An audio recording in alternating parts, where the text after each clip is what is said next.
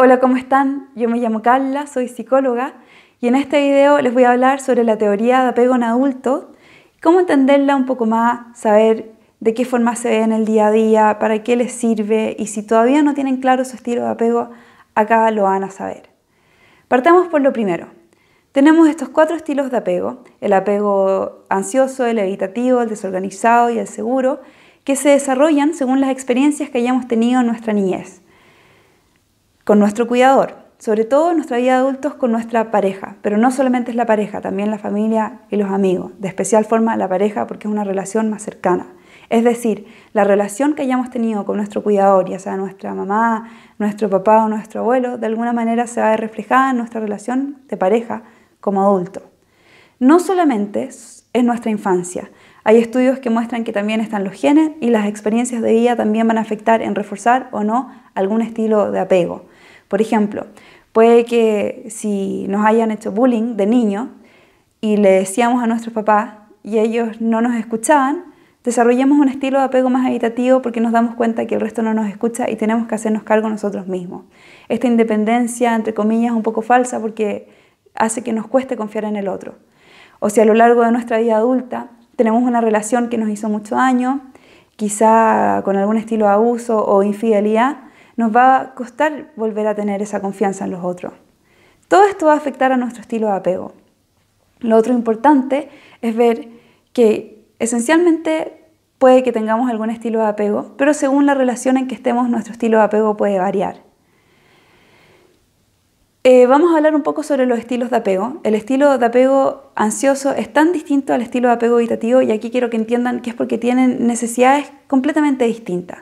Primero, el estilo de apego ansioso añora una relación, sueña con conectarse, necesita estar con alguien. Por eso le cuesta tanto estar solo y tiene tantas inseguridades cuando está al otro porque teme perderlo y está buscando agradarle al otro.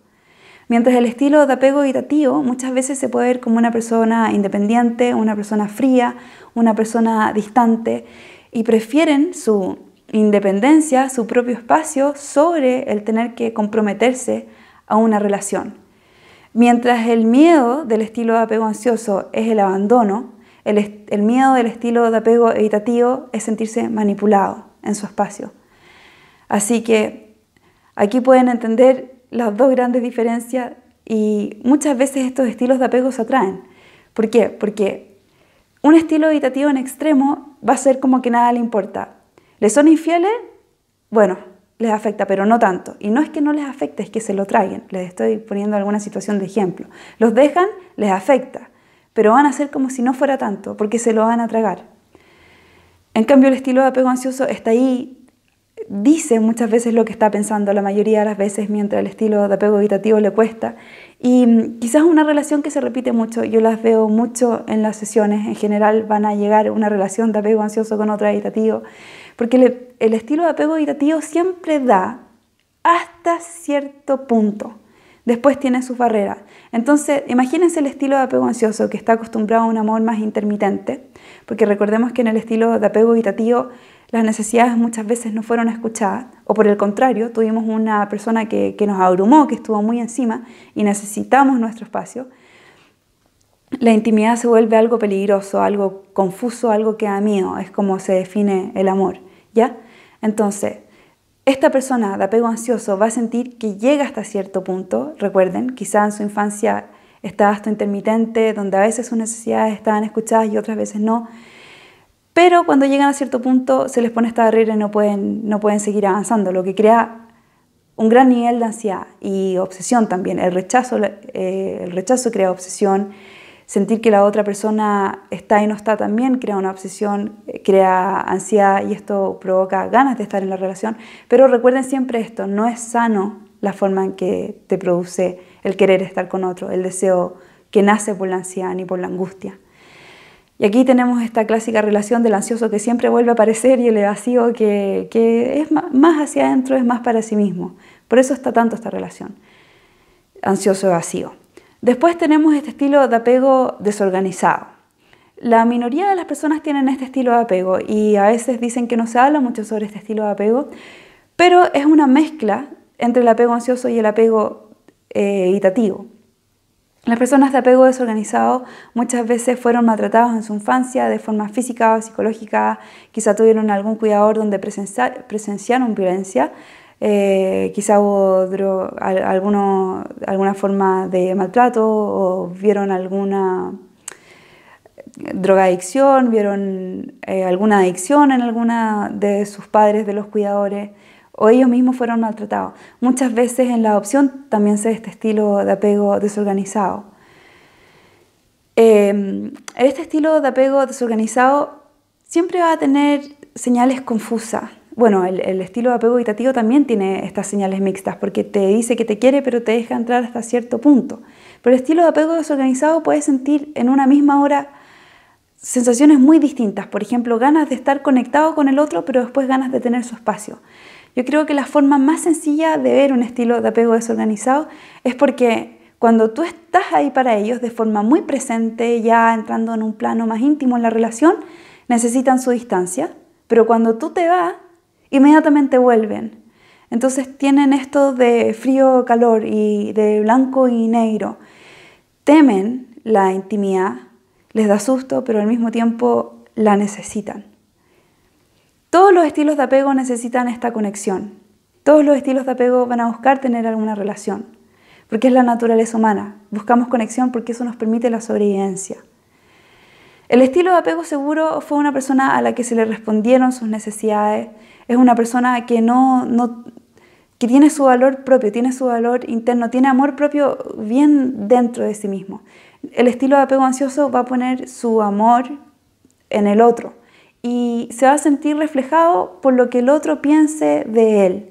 El estilo de apego seguro no, el estilo de apego seguro va a tener confianza en sí mismo, va a ser capaz de reconocer las banderas rojas en una relación antes, va a ser capaz de dejar una relación si le está haciendo daño, va a ser capaz de poner límites, no como el estilo ansioso que muchas veces le cuesta poner límites con tal de tener al otro, o el estilo de apego evitativo le cuesta decir sus necesidades, hablar sobre sus necesidades, porque no conecta bien con sus propias emociones tampoco.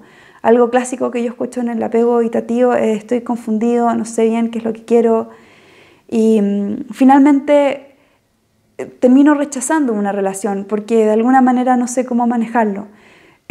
Los nombres son más que claros. E, el evitativo evade y el ansioso preocupado está ansioso y preocupado por mantener la conexión con el otro. ¿Ya? El apego seguro va a ser capaz de decir lo que siente, el apego seguro va a ser capaz de contener a una persona cuando lo sienta necesario, sobre todo, como les comentaba, va a ser capaz de dejar alguna relación cuando sienta que necesita hacerlo, pero va a tener ese amor interno propio. Eso es una característica importante. Va a poder estar ahí para ti cuando lo necesites, va a poder escucharte, va a poder tomar decisiones pensando en los dos. Ese es el apego seguro. Les voy a nombrar algunas preguntas para que a ustedes les quede claro su estilo de apego si todavía no lo tienen claro, para que las vayamos conversando. Aquí las anoté. Miren, no le doy mucha importancia a las relaciones, nombre, a los nombres, a la duración y al significado. ¿Qué estilo de apego creen que es esto? Si no le dan importancia a los nombres ni al significado. Claramente es un estilo de apego más evitativo. Son esas personas que te pueden decir, yo creo que las relaciones duran, no sé, máximo cinco años, yo creo que es normal tener cinco relaciones a lo largo de la vida. Em, no, no son tan importantes, ¿ya? los nombres, ¿por qué? No son tan importantes. Estamos en una relación, ¿por qué tienes que ponerle tanto nombre? Etcétera, etcétera. Este tipo de comentarios, claramente de un estilo de apego más editativo. Lo otro, aquí va una segunda. Me siento relajado con la compañía de mi pareja la mayoría del tiempo. ¿Qué estilo de apego creen que corresponde a esta frase? Claramente un estilo de apego más seguro. El estilo de apego seguro cuando está en una relación no tiene muchos mucho drama en la relación. No tiene mucho que comentar sobre la relación porque todo está quizá de alguna forma aburrido, pero todo está tranquilo y se siente seguro en la compañía del otro. Un estilo de apego más ansioso va a estar buscando la aprobación del otro, en la mirada, en los gestos, en ver qué está haciendo y, lo va a tomar de forma personal cuando toda la atención no se le está dando. Aquí va la tercera. A veces siento una necesidad profunda de conexión y luego de necesitar mi espacio.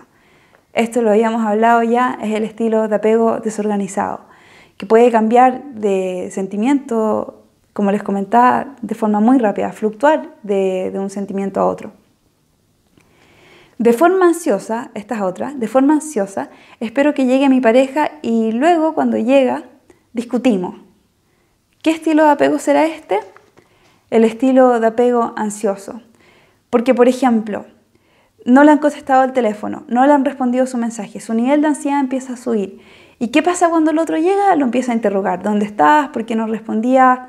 Em, ¿Qué fue lo que pasó? Y finalmente termina habiendo una discusión porque el otro se siente, se siente controlado. Aquí va otra. A veces me siento superior, como si no necesitara de los demás. Pienso que me gustaría que los otros fueran más independientes. Esto corresponde claramente a un estilo de apego más evitativo. El estilo de apego evitativo tiene eso que le cuesta confiar en otras personas y aprecia la independencia en otros. Por eso yo les he comentado en otros videos, esta relación evitativo-evitativo también es una relación que va a funcionar. Un estilo evitativo no va a necesitar hablar mucho sobre sus emociones. No le va a gustar mucho hablar sobre las emociones, no va a buscar un gran, un gran nivel de conexión tampoco. Pero el problema es que cuando uno se quiera ir, el otro no va a poner mucha resistencia y es una relación que, no, no creó un apego muy fuerte. Aquí va otro. Cuando siento que una relación se vuelve muy cercana, me asusto y prefiero alejarme. Claramente aquí está de nuevo el estilo de apego más evitativo, porque recordemos que el amor para el evitativo se siente así, extraño, confuso, da susto, ahoga. Entonces prefiero volver y tener mi espacio. El estilo de apego evitativo muchas veces no le cuesta tanto dar vuelta a la página. Inmediatamente busca otra relación, otra persona con la que repite exactamente la misma historia. Pero no se hacen mucho drama, no persiguen demasiado. Quizá al principio de la relación sí, pero después no, ¿ya? Como les comentaba, para ellos es importante que tú entiendas que son independientes y que pueden vivir sin ti. Y ahí está la parte de la independencia, porque fue lo que aprendieron de cierta manera, a no, no confiar en otro, a que si te mostrabas vulnerable y débil eso no era bueno, tenías que hacer las cosas por ti mismo. Aquí va otro. Prefiero una relación sin ponerle algún nombre, esto lo hablamos, o prefiero sexo casual antes de un compromiso serio claramente un estilo de apego más evitativo. Mi pareja se queja, este es otro, mi pareja se queja porque lo trato de controlar, también corresponde a este estilo de apego más ansioso. Lo divertido es que si tú le dices a una persona ansiosa que está siendo controlador o controladora, les va a llamar la atención, no van a entender, no lo van a poder creer. Pero es importante entender que el apego ansioso a veces se pone, como dicen en inglés, needy o clingy, como muy necesitado o dependiente del otro, porque necesita hablar sobre su parte emocional, necesita abrir este espacio, necesita muchas veces que, lo escuchen. Y si todo el apego ansioso te preocupas de estar un poquito más presente, ya esa ansiedad va a empezar a bajar. Por eso es importante, eh, cuando hablamos sobre los apegos, saber cuál es el estilo de apego que te conviene elegir. Si tienes un apego ansioso, no te va a convenir mucho estar con una persona muy evitativa. Te conviene estar con alguien más seguro. Si eres extremadamente evitativo, quizás alguien evitativo sea mejor para ti. Tienen que tenerlo claro. Otro, cuando siento una conexión profunda con alguien, siento que necesito, siento que me ahogo, siento, como les había comentado, que necesito mi espacio y me alejo de los otros. Esto también habla de un estilo de apego evitativo. Ahora, sigue, siento que me alejo de otros, pero cuando esta persona se aleja, por ejemplo, habíamos quedado en tener una relación de amistad después de terminar la relación de pareja, pero cuando esta persona ya no quiere tener una relación de amistad, cuando corta cualquier tipo de conexión, siento que me gusta esa persona, siento que me atrae más y quiero ir hacia esa persona, quiero jugármela, quiero volver a tratar de estar con él o ella. Pero cuando vuelvo con él o ella, vuelve a pasar la misma historia. Si se ve muy cercano, me empiezo a alejar y así. Esto claramente claramente, claro, habla de un estilo de apego más desorganizado. ¿Se dan cuenta? Va y viene, va y viene. Es muy difícil y cansador cuando tenemos esta situación de alguien que, se acerca cada vez que, que estamos lejos y cuando nos tiene, entonces se aleja. Lo bueno de un estilo de apego desorganizado es que puedes generar esta conexión cuando está en la parte más ansiosa con la otra persona. Así que, de todas maneras, una persona de apego seguro puede que saque lo mejor de alguien de apego desorganizado. Y recordemos que todo depende del nivel de nuestro estilo de apego. Siempre hay distintos niveles. Aquí va otra. Me cuesta mantener el contacto visual. ¿Qué estilo de apego creen que es esto? Este es un estilo de apego más evitativo. Porque piénsenlo así, el contacto visual es una conexión que estás generando con el otro. El estilo de apego evitativo le cuesta conectar, por lo tanto le va a costar el contacto visual. Y la última, me gusta mi espacio. Me gusta mi espacio, pero a veces me siento invadido, como habíamos estado hablando. A veces tengo esta sensación de ahogo o esta sensación de miedo cuando estoy con otra persona. De nuevo, una vez más, este es el apego evitativo. Y elegí estas preguntas, quizá algunas se parecen eh, entre ellas, porque son las más características sobre los distintos estilos de apego. Así que espero que les haya quedado claro por qué es importante esta teoría, porque cuando conozcamos a otras personas vamos a poder entender su comportamiento y no tomarlo de forma personal porque vamos a poder entender cómo tratar a ciertas personas, no solamente en nuestra relación de pareja, sino en nuestra relación de trabajo. Hay personas que van a necesitar más espacio, hay personas que van a necesitar que estén más atentos a, lo que ellos están haciendo, a las necesidades, más contacto quizá.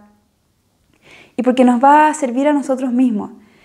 Si hemos estado, sobre todo si hemos estado repitiendo patrones, si vemos que la misma historia se repite con distintas personas, Claramente es porque tenemos algún estilo de apego ahí que se siente atraído por una historia familiar. ¿Y cómo podemos, si elegimos tener una relación sana, cómo podemos hacerlo? Teniendo clara nuestra forma de funcionar, los estilos de apego, cómo funcionan los otros, qué es lo que nos conviene, por qué reacciono como reacciono, por qué está pasando lo que pasa y cómo lo puedo cambiar. Recordemos, por ejemplo, el discurso interno que tiene el estilo de apego ansioso, que es un discurso interno muy negativo. El, apego ansioso tiene que, trabajar y pelear con este discurso interno sobre el sentirse poco querido, donde va a buscar cualquier información, cualquier frase que le hayan dicho para mantener esta teoría, para reforzar esta teoría. Si, tenemos este, este es un ejemplo, si tenemos claro que tenemos un discurso interno tan negativo, tenemos que esforzarnos en cambiarnos, en, como dicen, balancear y ver que si es que no estamos 100% seguros que no somos 100% queridos, no podemos comprobar esa teoría tampoco. Entonces, ¿qué, ¿qué de la otra persona nos hace sentir querido? O empezar a buscar nuestra luz propia. ¿Dónde está ese amor propio? Ponerlo de nuevo nosotros mismos. Ahí tienen un ejemplo de cómo aplicar la teoría del apego, reconocer qué es lo que está pasando, por qué está pasando y balancear la teoría. ¿Por qué si somos queridos? ¿Por qué si somos especiales? Y ese amor interno tiene que venir de nosotros y no de otro. Y así muchos ejemplos más que van a poder ir viendo a lo largo de todos estos videos. Si están haciendo el libro, lo van a poder de forma clara, lo van a poder ver de forma clara en los libros de trabajo. Así que espero haberlos ayudado, espero que les quede un poco más claro. Cualquier cosa, si quieren agendar una hora de forma personal conmigo, lo pueden hacer en www.espaciocun.com dejando un mensaje o un WhatsApp en el número que aparece en la página. Les mando un beso grande, un abrazo, mucha suerte en su día y espero que siempre sientan que me tienen acá por cualquier cosa para ayudarlos en su camino. Un beso. Chao, chao.